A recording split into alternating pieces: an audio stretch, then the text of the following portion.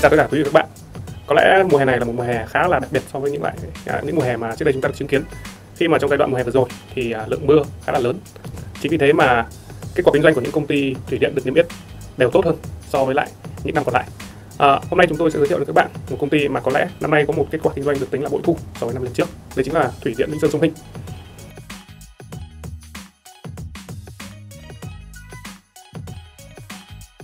Trước khi đến với lại à, chi tiết công ty thì à, chúng ta nói qua về đôi nét về tình hình à, ngành thủy điện trên thế giới. Ờ, theo Hiệp hội Thủy điện Quốc tế thì đến năm 2020 tổng cái công suất lắp đặt của tất cả các nhà máy thủy điện trên thế giới góp lại là được 1.300 gigawatt. Và tương đương này tương đương với công suất này thì sản sinh ra 15% sản lượng điện của thế giới. Và con số 15% này là là cao hơn uh, cái sự đóng góp của tất cả các cái dạng năng lượng tái tạo khác kết hợp lại như là năng lượng gió hay năng lượng mặt trời và giá thành sản xuất thủy điện tại Việt Nam thì là giá thành thấp nhất so với lại các nguồn năng lượng khác như điện than, điện khí hay điện mặt trời. Do đó nên việc duy trì và tối ưu huy động nguồn phát từ thủy điện à, chúng tôi đánh giá là ưu tiên hàng đầu của ngành điện. Tiếp đó là do các đập thủy điện thì không sử dụng nhiên liệu nên việc tạo ra điện không sinh ra carbonic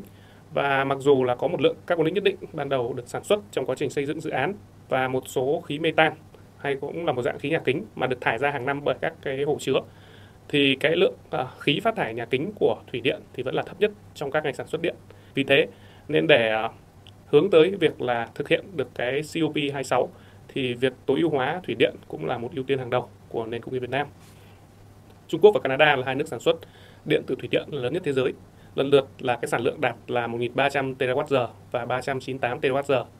Và xét về tỷ lệ năng lượng thủy điện trên tổng sản lượng điện thì Na Uy một nước Bắc Âu thì lại sản xuất được 99% lượng điện của mình cần tiêu thụ bằng sức nước.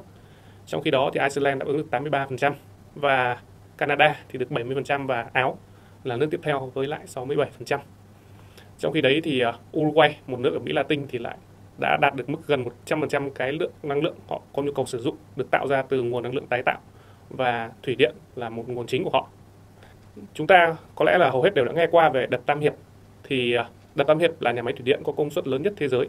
Hiện tại thì đập Tam Hiệp có 34 máy phát điện và trong đó thì có 32 tổ máy chính, mỗi tổ có công suất là 700 MW và tổng cộng công suất của đập Tam Hiệp hiện tại là 22.500 MW. Và xét đến Việt Nam thì ờ, cái công suất của đập Tam Hiệp này thì gần như là lớn gần gấp 10 lần so với lại cái nhà máy thủy điện lớn nhất Việt Nam hiện tại là nhà máy thủy điện Sơn La với tổng công suất là đâu đó khoảng 2.400 MWh. Về thủy điện Vĩnh Sơn Sông Hinh thì thủy điện Vĩnh Sơn Sông Hinh hiện tại là có 3 nhà máy bao gồm thủy điện Vĩnh Sơn, thủy điện Sông Hinh và một nhà máy mới thành mới đi vào hoạt động trong năm vừa rồi, năm 2021 là nhà máy thủy điện Thượng Con Tum. Thì à, nhà máy thủy điện Vĩnh Sơn là nhà máy thủy điện đầu tiên. Nhà máy này phục vụ tưới tiêu cho 40 450 ha hạ lưu sông Côn ở tỉnh Bình Định và 4.000 ha cho hạ lưu của huyện Tuy Hòa, Phú Yên. Công trình xây dựng từ năm 1991 và đưa vào hoạt động 3 năm sau đấy là năm 1994 công suất hoạt động lúc đầu là 66 MW và sau khi cải tạo thì nhà máy đã đạt được cái cái sản lượng tối ưu. Hiện tại là trung bình khoảng 310 triệu cái số điện mỗi năm. Và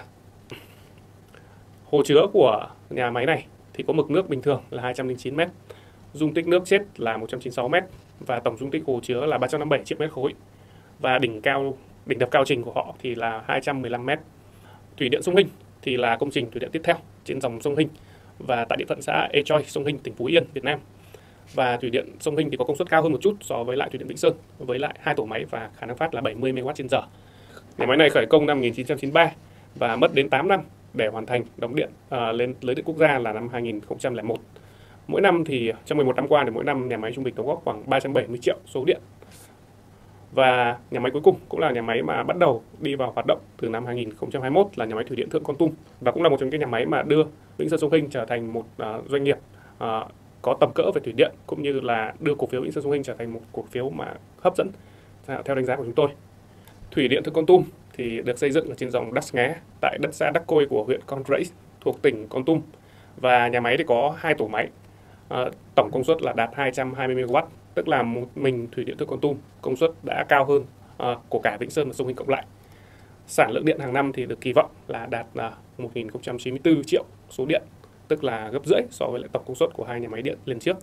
Và hiện tại thì uh, theo tính toán của chúng tôi thì con số sản lượng điện của trong cái thời kỳ hoạt động vừa rồi thì vẫn đã vượt trên con số này. Nhà máy này cũng là một nhà máy mà có cái đường hầm dẫn nước là dài nhất trong tổng số 3 nhà máy với chiều dài là 20 km.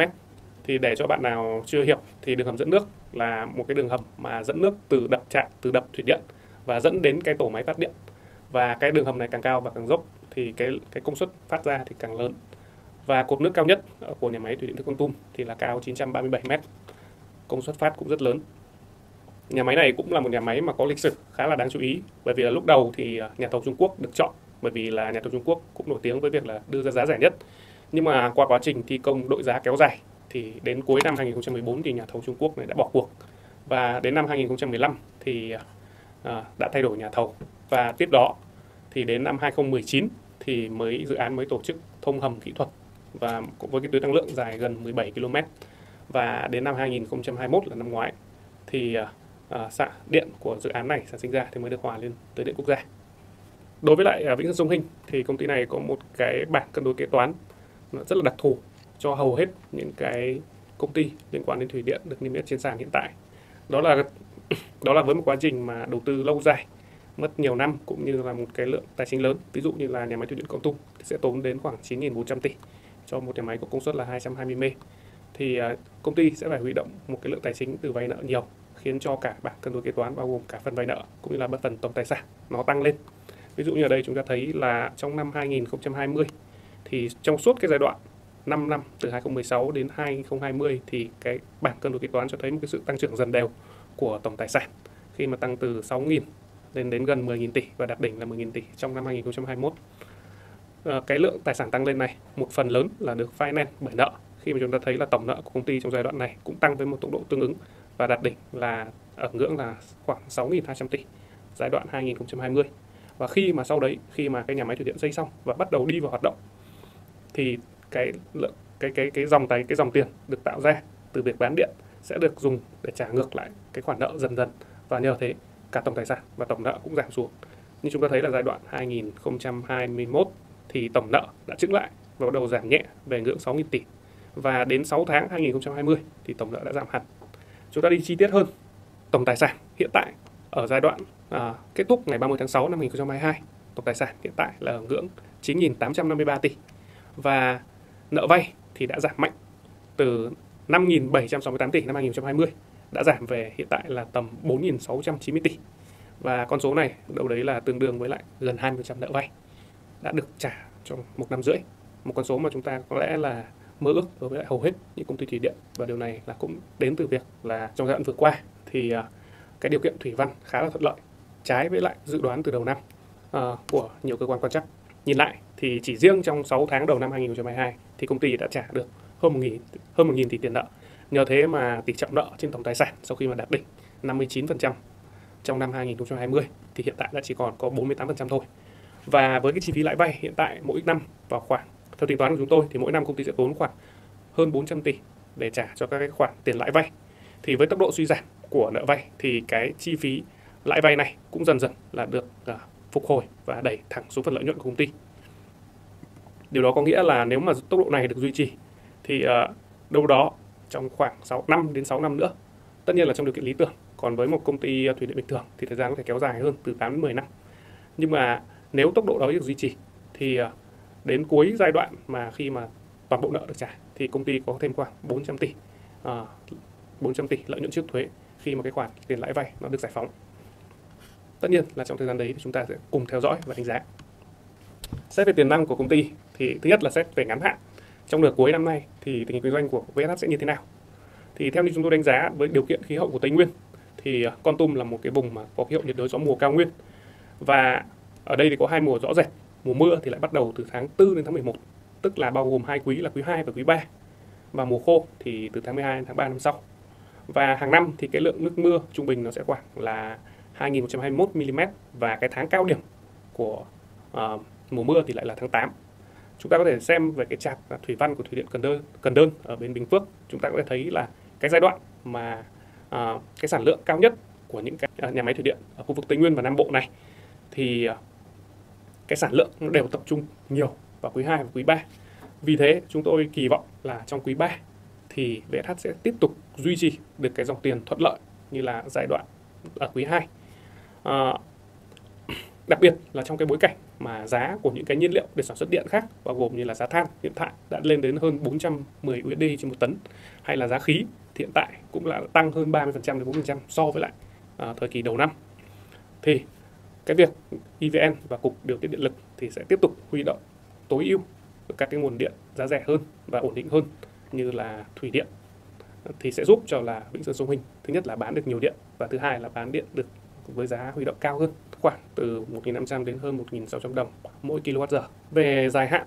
thì ờ, chúng ta có thể đánh giá là với một cái cấu cổ đông mà khá là cổ đặc như Vĩnh Sơn Sông Hinh với công ty cổ phần cơ điện lạnh của mã là RI cầm hơn 50% và uh, phát điện Genco 3 cầm 30% tức là tổng gần 80% thì cái cái tình hình thì cái xu thế của công ty sẽ là có một cái luồng cổ tức khá là đều đặn theo thời gian. Ví dụ như là trong năm 2022 thì cổ tức đang là 10% trên mỗi cổ phiếu. Và trong tương lai với tình hình kinh doanh của cả hai cổ đông lớn, thì à, cái à, xu thế trả cổ tức này sẽ được duy trì và đem lại một cái dòng tiền ổn định cho cổ đông của công ty. Ngoài ra thì à, như kế hoạch được công bố trong báo cáo thường niên cũng như là từ đại hội cổ đông, thì công ty cũng có một số dự án đang được chuẩn bị để xúc tiến đầu tư và đánh giá báo cáo tiền khả thi. Ví dụ như là dự án điện mặt trời thì dự án điện mặt trời thì công ty khả năng cao là sẽ thực hiện những cái solar farm mà nổi ở trên hồ, tận dụng cái khả năng đấu nối của nhà máy thủy điện và tận dụng diện tích mặt hồ không mất chi phí giải phóng mặt bằng uh, nhiều khả năng là dự án này sẽ uh, sau khi chờ được bộ công thương đưa vào quy hoạch cũng như là đưa ra cái cơ chế giá hoặc là giá phí và giá đấu thầu thì sẽ được xúc tiến đầu tư và cái thời gian đầu tư của một dự án điện mặt trời thì nó chỉ từ khoảng 6 đến 9 tháng. Nhờ thế mà cái dự án điện trời này chúng tôi đánh giá là một dự án tiềm năng trong trung hạn. Ngoài ra thì công ty cũng thực hiện một số dự án khác như là dự kiến là nâng mực nước dâng bình thường của cái hồ của hồ trên thủy điện à, Vĩnh Sơn lên 2,5 mét. Như chúng ta nhớ là